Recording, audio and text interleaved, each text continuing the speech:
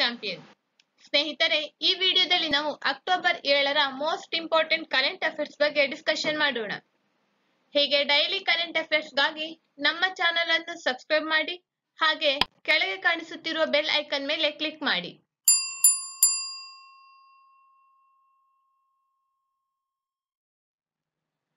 Virtual rice ಎರಡ್ ಸಾವಿರದ ಇಪ್ಪತ್ತರ ಶೃಂಗಸಭೆಯನ್ನು ಇತ್ತೀಚೆಗೆ ಪಿಎಂ ಮೋದಿ ಅವರು ಉದ್ಘಾಟಿಸಿದರು. ಯಾವುದರ ಪ್ರಾಮುಖ್ಯತೆಯ ಬಗ್ಗೆ ಉದ್ದೇಶಪೂರ್ವಕವಾಗಿ ಇದನ್ನು ಆಯೋಜಿಸಲಾಗಿದೆ.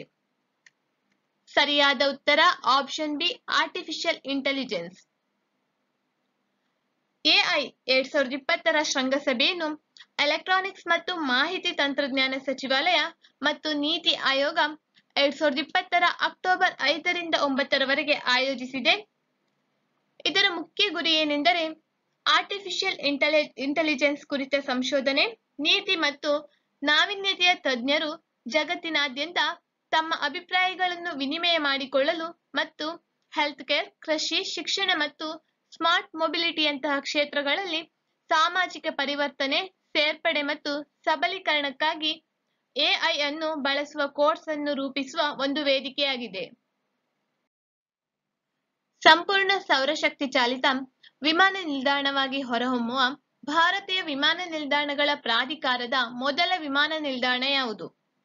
ಇದಕ್ಕೆ ಸರಿಯಾದ ಉತ್ತರ ಆಪ್ಷನ್ ಬಿ ಪುದುಚೇರಿ ಏರ್ಪೋರ್ಟ್ ಎರಡ್ ಸಾವಿರದ ಇಪ್ಪತ್ತರ ಅಕ್ಟೋಬರ್ ಎರಡರಂದು ಐನೂರು ಕಿಲೋವ್ಯಾಟ್ ಪವರ್ ಗ್ರೌಂಡ್ ಮೌಂಟೆಡ್ ಸೌರ ವಿದ್ಯುತ್ ಸ್ಥಾವರವನ್ನು ಕಾರ್ಯಾರಂಭ ಮಾಡಿತು. ಈ ಘಟಕದ ಅಂದಾಜು ವೆಚ್ಚ ಎರಡು ಪಾಯಿಂಟ್ ಎಂಟು ಕೋಟಿ ರು ಆಗಿದೆ. ಹಾಗೆ ಸಂಪೂರ್ಣ ವಿದ್ಯುತ್ ತಟಸ್ಥವಾಗಿರುವ ಪುದುಚೇರಿ ವಿಮಾನ ನಿಲ್ದಾಣವು ಸೌರ ವಿದ್ಯುತ್ ಸ್ಥಾವರದ ಮೂಲಕ ತನ್ನ ಸಂಪೂರ್ಣ ವಿದ್ಯುತ್ ಅಗತ್ಯವನ್ನು ಪೂರೈಸಲು ಸಾಧ್ಯವಾಗುತ್ತದೆ. ವರ್ಷದ ಯಾವ ದಿನವನ್ನು ವಿಶ್ವ ಆವಾಸ ದಿನವನ್ನಾಗಿ ಆಚರಿಸಲಾಗುತ್ತದೆ?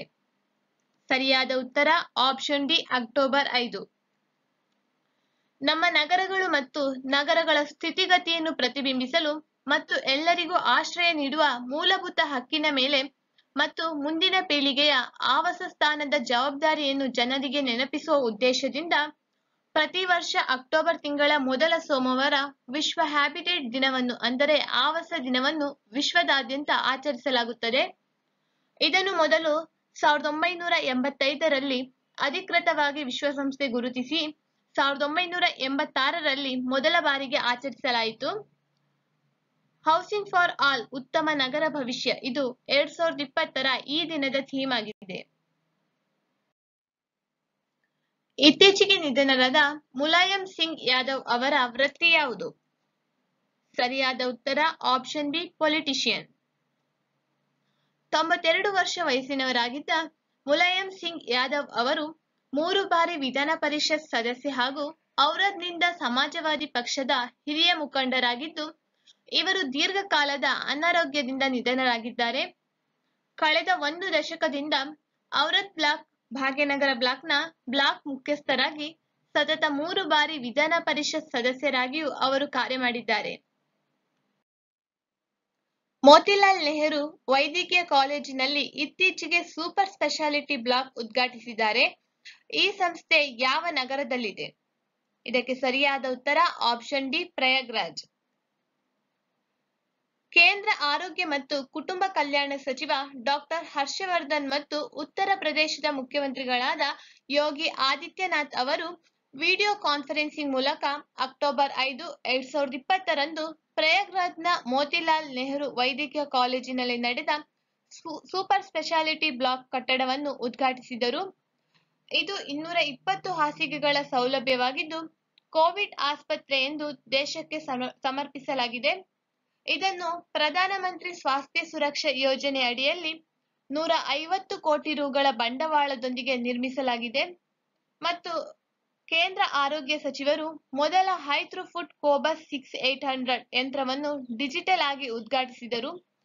ಇದು ಸಂಪೂರ್ಣ ಸ್ವಯಂಚಾಲಿತ ಹೈ ಅಂಡ್ ಯಂತ್ರವಾಗಿದ್ದು, ಇಪ್ಪತ್ನಾಲ್ಕು ಗಂಟೆಗಳಲ್ಲಿ ಸಾವಿರದ ಇನ್ನೂರು ಮಾದರಿಗಳ ಉನ್ನತ ಥ್ರೂಫುಟ್ ನೊಂದಿಗೆ ಗುಣಮಟ್ಟದ ಉನ್ನತ ಪರಿಣ, ಪರಿಮಾಣದ ಪರೀಕ್ಷೆಯನ್ನು ಒದಗಿಸಲು ಕೋವಿಡ್ ನೈನ್ಟೀನ್ಗಾಗಿ ನೈಜ ಸಮಯದ ಪಿಸಿಆರ್ ಪರೀಕ್ಷೆಯನ್ನು ಮಾಡಲು ಒಂದು ಸಂಪೂರ್ಣ ಸ್ವಯಂಚಾಲಿತ ಹೈ ಎಂಡ್ ಯಂತ್ರವಾಗಿದ್ದು, ಇದನ್ನು ಉತ್ತರ ಪ್ರದೇಶದಲ್ಲಿ ಐಸಿಎಂಆರ್ನಿಂದ ಸ್ಥಾಪಿಸಲಾದ ಮೊದಲ ಯಂತ್ರವಾಗಿದೆ.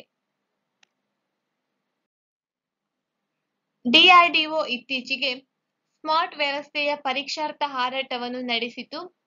ಯಾವ ಆಪರೇಷನ್ಗೆ ಚಾಲನೆ ನೀಡಲಾಗಿದೆ? ಸರಿಯಾದ ಉತ್ತರ option C anti submarine warfare October ಐದು, ಎರಡ್ ಸಾವಿರದ ಇಪ್ಪತ್ತರಂದು ರಕ್ಷಣಾ ಸಂಶೋಧನೆ ಮತ್ತು ಅಭಿವೃದ್ಧಿ ಸಂಸ್ಥೆ ಒಡಿಶಾ ಕರಾವಳಿ ತೀರದಲ್ಲಿರುವ ವೀಲ್ವ, ವೀಲರ್ ದ್ವೀಪದಿಂದ ಸೂಪರ್ಸಾನಿಕ್ ಕ್ಷಿಪಣಿ ಸಹಾಯಿತ ಬಿಡುಗಡೆಯನ್ನು ಯಶಸ್ವಿಯಾಗಿ ಪರೀಕ್ಷಿಸಿತು. ಸ್ಮಾರ್ಟ್ ಎಂಬುದು ಟಾರ್ಪೆಡೋ ವ್ಯಾಪ್ತಿಯ ಆಚೆಗೆ ಜಲಾಂತರ್ಗಾಮಿ ವಿರೋಧಿ ಯುದ್ಧ ಅಂದರೆ ಆಂಟಿ ಸಬ್ಮೆರಿನ್ ವಾರ್ಫೇರ್ ಕಾರ್ಯಾಚರಣೆಗಾಗಿ ಹಗುರವಾದ ಜಲಾಂತರ್ಗಾಮಿ ಟಾರ್ಪೆಡೋ ಸಿಸ್ಟಂನ ಕ್ಷಿಪಣಿ ಸಹಾಯದಿಂದ ಬಿಡುಗಡೆಯಾಗಿದೆ. DRDL, RCI Hyderabad, ADRDE Agra, NSTL Visakhapatnam ಸೇರಿದಂತೆ ಹಲವು ಡಿಆರ್ಡಿಒ ಪ್ರಯೋಗಾಲಯಗಳು ಸ್ಮಾರ್ಟ್ಗೆ ಅಗತ್ಯವಿರುವ ತಂತ್ರಜ್ಞಾನಗಳನ್ನು ಅಭಿವೃದ್ಧಿಪಡಿಸಿದೆ. ಹಿಂದೂ ಮಹಾಸಾಗರ ಪ್ರದೇಶಕ್ಕೆ ಸಾಗರ ಕಣ್ಗಾವಲು ಉಪಗ್ರಹಗಳನ್ನು ಉಡಾವಣೆ ಮಾಡಲು, ಹಡಗುಗಳ ಮೂಲಕ ಅಕ್ರಮವಾಗಿ ತೈಲ ಸೋರಿಕೆಯನ್ನು ಪತ್ತೆ ಹಚ್ಚಲು ಯಾವ ದೇಶದೊಂದಿಗೆ ಭಾರತವು ಸಹಯೋಗ ಹೊಂದಿದೆ? ಸರಿಯಾದ ಉತ್ತರ ಆಪ್ಷನ್ ಎ ಫ್ರಾನ್ಸ್ ಹಡಗುಗಳ ಮೂಲಕ ಅಕ್ರಮವಾಗಿ ತೈಲ ಸೋರಿಕೆಯನ್ನು ಪತ್ತೆ ಹಚ್ಚಲು, ಭಾರತ ಮತ್ತು ಫ್ರಾನ್ಸ್ ಜಂಟಿಯಾಗಿ ಹಿಂದೂ ಮಹಾಸಾಗರ ಪ್ರದೇಶಕ್ಕೆ ಸಾಗರ ಕಣ್ಗಾವಲು ಉಪಗ್ರಹಗಳನ್ನು ಉಡಾವಣೆ ಮಾಡಲು ಜಂಟಿಯಾಗಿ ಕೈಜೋಡಿಸಿದೆ ಹಾಗೆ ಈ ಉಪಗ್ರಹವು ನೌಕೆಗಳನ್ನು ನಿರಂತರವಾಗಿ ಪತ್ತೆ ಹಚ್ಚುವ ಸಾಮರ್ಥ್ಯ ಹೊಂದಿದ್ದು ವಿಶ್ವದ ಮೊದಲ ಬಾಹ್ಯಾಕಾಶ ಆಧಾರಿತ ವ್ಯವಸ್ಥೆಯಾಗಲಿದೆ.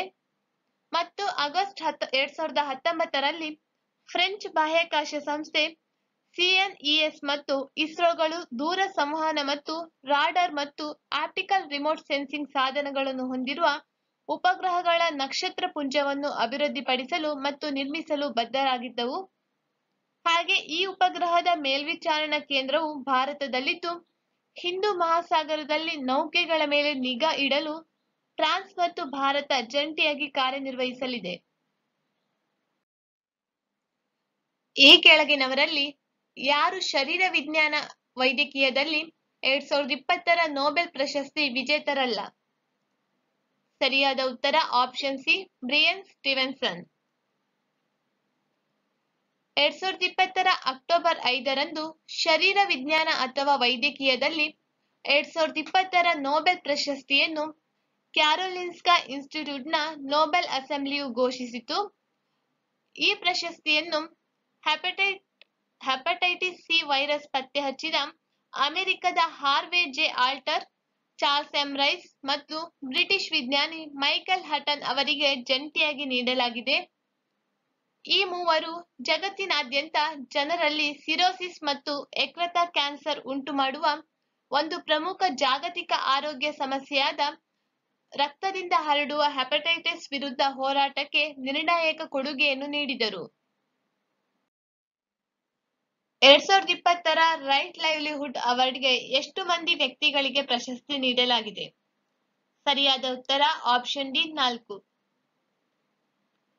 ಇರಾನ್ನ ನಸ್ರಿನ್ ಸೋಟೋಡೆ, ಯುನೈಟೆಡ್ ಸ್ಟೇಟ್ನ ಬ್ರಯನ್ ಸ್ಟಿವನ್ಸನ್ ನಿಕರಾಗುವಾದ ಲೊಟ್ಟಿ ಕನ್ನಿಂಗ್ಹ್ಯಾಮ್ ಬ್ರೆನ್ ಮತ್ತು ಬೆಲರಾಸ್ನ ಅಲೆಸ್ ಬಿಯರ್ಸ್ಕಿ ಅವರಿಗೆ ರೈಟ್ ಲೈವ್ಲಿಹುಡ್ ಪ್ರಶಸ್ತಿ ಎರಡ್ ಸಾವಿರದ ಇಪ್ಪತ್ತನ್ನು ನೀಡಲಾಗಿದೆ. ಇದು ಪರ್ಯಾಯ ನೋಬೆಲ್ ಪ್ರಶಸ್ತಿ ಎಂದು ಸಹ ಕರೆಯಲ್ಪಡುವ ಅಂತಾರಾಷ್ಟ್ರೀಯ ಪ್ರಶಸ್ತಿಯಾಗಿದೆ. ಹಾಗೆ ಸಾವಿರದ ಒಂಬೈನೂರ ಎಂಬತ್ತರಲ್ಲಿ ಜರ್ಮನ್ ಸ್ವೀಡಿಷ್ ದಾನವಾದಿ ಜಕೋಬ್ ವಾನ್ ಉಕ್ಕುಲ್ ಅವರು ಈ ಪ್ರಶಸ್ತಿಯನ್ನು ಸ್ಥಾಪಿಸಿದರು. ಈ ಪ್ರಶಸ್ತಿಯನ್ನು ನೀಡುವ ಮುಖ್ಯ ಉದ್ದೇಶವೇನೆಂದರೆ, ನೊಬೆಲ್ ಪ್ರಶಸ್ತಿ ಪಟ್ಟಿಯಲ್ಲಿ ಸೇರದ ಪರಿಸರ ರಕ್ಷಣೆ, ಮಾನವ ಹಕ್ಕುಗಳು, ಸುಸ್ಥಿರ ಅಭಿವೃದ್ಧಿ, ಆರೋಗ್ಯ, ಶಿಕ್ಷಣದಂತಹ ಕ್ಷೇತ್ರಗಳಲ್ಲಿ ಪ್ರಾಯೋಗಿಕ ಮತ್ತು ಆದರ್ಶ ಕೊಡುಗೆಯನ್ನು ನೀಡುವವರನ್ನು ಗೌರವಿಸಲು ಮತ್ತು ಬೆಂಬಲಿಸಲು ಈ ಪ್ರಶಸ್ತಿಯನ್ನು ನೀಡಲಾಗುವುದು.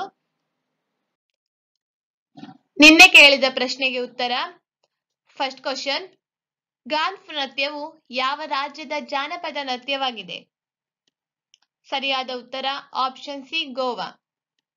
Second question ಜಾಗತಿಕ ಭ್ರಷ್ಟಾಚಾರ ಸೂಚ್ಯಂಕವನ್ನು ಯಾವ ಸಂಸ್ಥೆ ಪ್ರಕಟಿಸುತ್ತದೆ? ಸರಿಯಾದ ಉತ್ತರ? ಆಪ್ಷನ್ ಡಿ ಟ್ರಾನ್ಸ್ಪರೆನ್ಸಿ ಇಂಟರ್ನ್ಯಾಷನಲ್ ಇಂದಿನ ಪ್ರಶ್ನೆ first question World Wide Fund for ನೇಚರ್ನ ಪ್ರಧಾನ ಕಚೇರಿಯಲ್ಲಿದೆ. ಸೆಕೆಂಡ್ ಕ್ವಶನ್ ಈ ಕೆಳಗಿನವುಗಳಲ್ಲಿ ತಪ್ಪು ಆಯ್ಕೆಯನ್ನು ಆಯ್ಕೆ ಮಾಡಿ. Option A Kandla airport Gujarat option B Sonari airport Jharkhand option C Aurangabad airport Maharashtra option D Adampur airport Haryana ನಮ್ಮ ಈ ವಿಡಿಯೋ ನಿಮಗೆ ಇಷ್ಟವಾಗಿದ್ದಲ್ಲಿ ಲೈಕ್ ಮಾಡಿ, ಹಾಗೆ ನಿಮ್ಮ ಸ್ನೇಹಿತರಿಗೆ ಶೇರ್ ಮಾಡಿ, ಮತ್ತು ನಮ್ಮ ಚಾನೆಲ್ ಅನ್ನು ಸಪೋರ್ಟ್ ಮಾಡಿ. Thank you